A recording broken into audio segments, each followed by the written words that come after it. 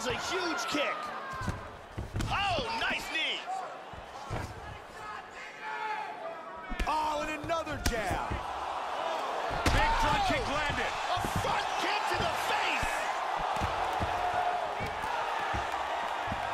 Big takedown.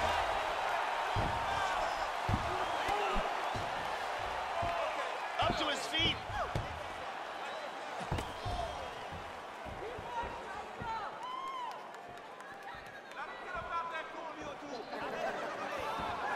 He's circling to his right here.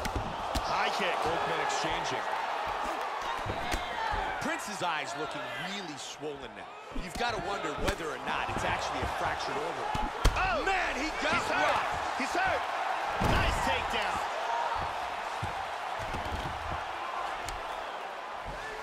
Into full guard again. He's on his feet.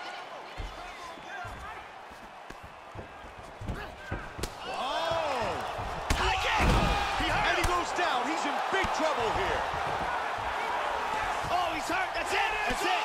The fight is over. Tremendous TKO. Great stoppage by the referee.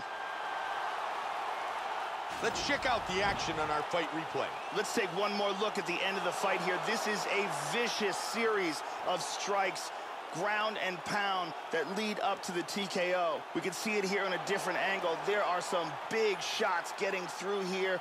Vicious ground and pound combination that leads to the TKO. And here it is from a different angle.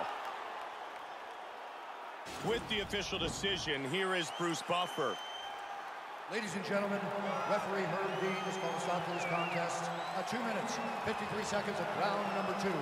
Declaring the winner by TKO and still the undisputed UFC lightweight champion of the world, the Chosen The One. chosen one remains the UFC lightweight champion.